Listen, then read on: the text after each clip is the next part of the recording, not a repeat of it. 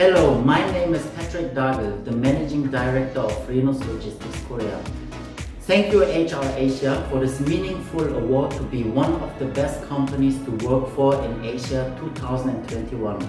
This achievement would not have been possible without the hard work and passion of our high motivated team.